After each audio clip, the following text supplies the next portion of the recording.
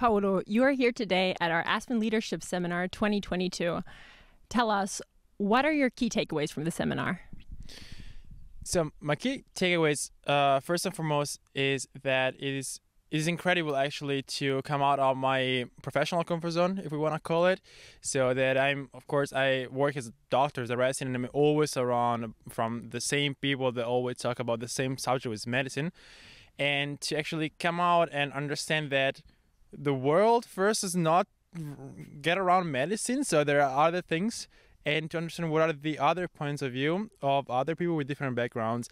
And on top of that, since we discuss actually about topics that we do encounter every day, but we also discuss about more philosophical topics, it's really interesting to see how people with different backgrounds from different generations and of course from different genders as well so men and women together actually see philosophical bigger idea and what they think about them.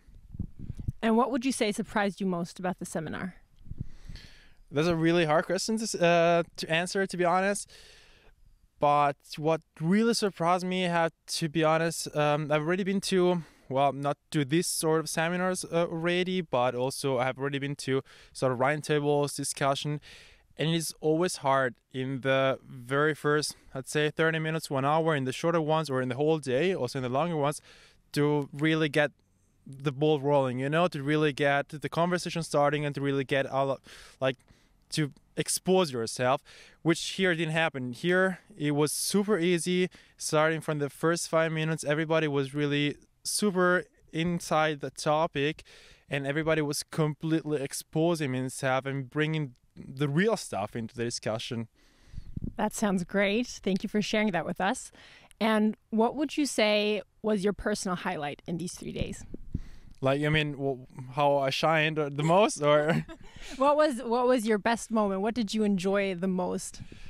Well, if we if we talk about like fun funny experience or well enjoyable experience, um, when we had the small play, and I think okay, this is my this is my time to shine and be the best narrator of this play that I could be. Um, yeah, I always say that, but also I'm. Well, I always say that I sort of have you know a, a um, language barrier, but I'm sort of proud of that, in the sense that I really enjoyed the possibility to be able to speak different languages which are not my mother language and actually be able to understand what the other people were speaking and what were the, the topic they were spoken about. Well, thank you so much. We are so happy that you were here and that you had a great time. Thank you.